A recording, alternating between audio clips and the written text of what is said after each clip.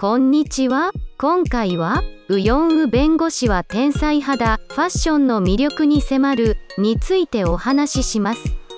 概要ウヨンウ弁護士は天才派だは、自閉スペクトラム症を抱えつつも、ファッションセンスに自信を持つ新米弁護士ウヨンウの奮闘を書いた韓国ドラマ。本記事では主人公ウヨンウの個性的なファッションに焦点を当て彼女の魅力的なスタイルに迫ります。1ウヨンウのファッションセンスユニークな趣味とカジュアルなスタイル。ウヨンウはのり巻きやクジラに興味津々でその個性的な趣味が彼女のファッションにも反映されています。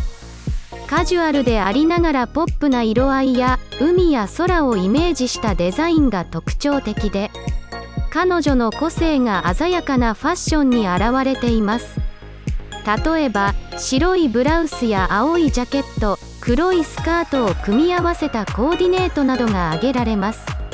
2カンテオのファッションシンプルで清潔感あるスタイル。ドラマではカンテオが演じるジュノもシンプルで清潔感のあるファッションを披露しています。ベーシックな白や黒を基調とした装いに上品なジャケットやパーカーを組み合わせカジュアルな雰囲気を醸し出しています。またスニーカーやサンダルといったアクセサリーも彼のキャラクターに合ったカジュアルな要素を強調しています。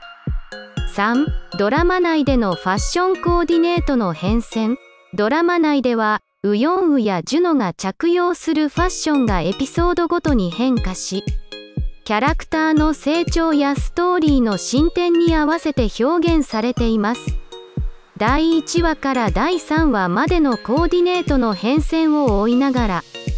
ファッションが彼らのキャラクターにどのように影響を与えているかを探ってみましょう。ウヨンウ弁護士は天才肌は個性的でありながらも魅力的なファッションセンスを持つ主人公ウヨンウの姿勢に焦点を当てた作品です。